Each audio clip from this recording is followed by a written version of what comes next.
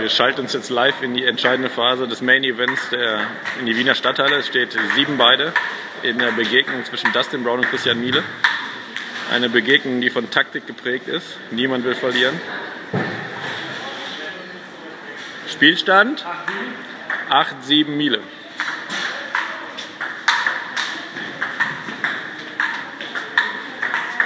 Schieber, Wahnsinn! 8-8. Die Nerven liegen blank. Acht beide. Die jamaikanische beidhändige Rückhand jetzt im Tischtennis auch aktuell.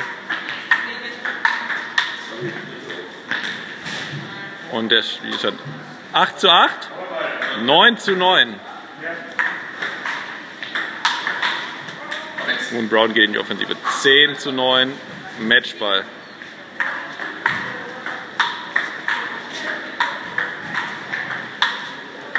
Netzroller.